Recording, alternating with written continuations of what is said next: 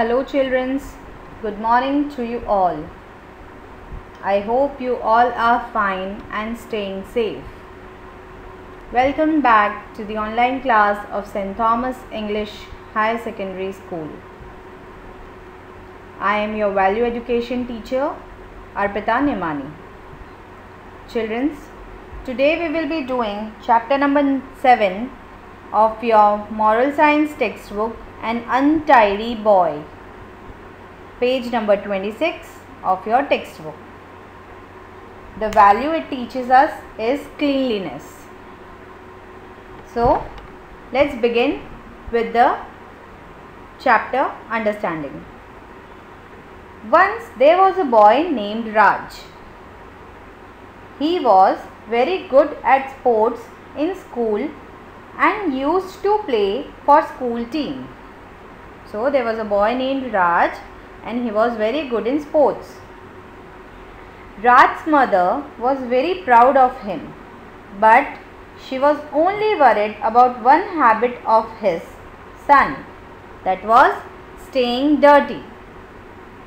Staying dirty. His son used to stay dirty. Even after reminding several times, Raj never bothered to brush his teeth twice, take a bath daily and wear clean clothes. He just used to pick whatever he saw first and wore it. Even though he had worn it the previous day and played in it. Means he never used to stay healthy and tidy. He never remembered to bath daily. He used to wear untidy clothes. Once the cricket team selection committee was coming to select team from Raj school for state level. Cricket committee was going to come for selection. Raj had practiced hard to get a chance in the state team. That morning, he rushed to school in the same dress he was practicing the previous day. Again, what he did? He went in the same dress where, where what he was wearing the previous day. He did not even inform his mother but just rushed to school with great interest. He was very excited that I am going to be selected today.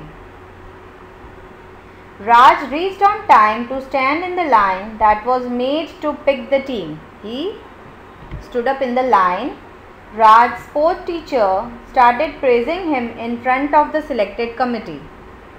His sports teacher started praising him. Raj was really feeling proud and sure that he would be selected. He was sure of being selected. The committee separated the selected students to the right and others remained in the left. Now, what did the committee do?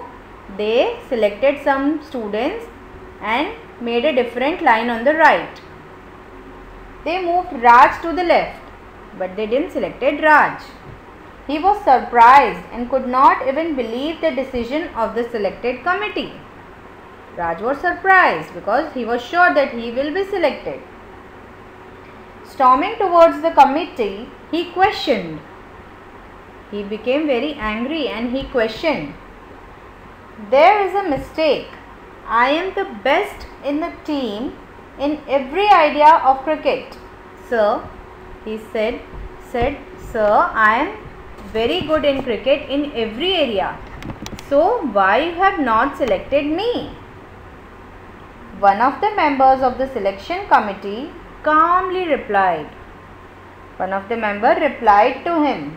What did he said? He said, the person who does not respect the discipline of the game to dress according to it cannot be a part of our team.